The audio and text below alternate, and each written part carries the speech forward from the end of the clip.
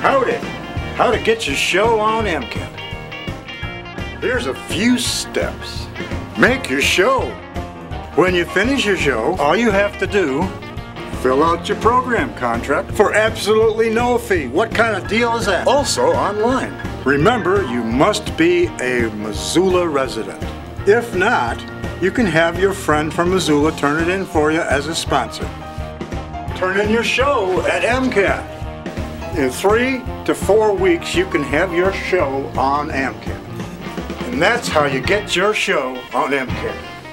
For more information, contact MCAT, Missoula Community Access Television, at 542 6228 and at MCAT.org.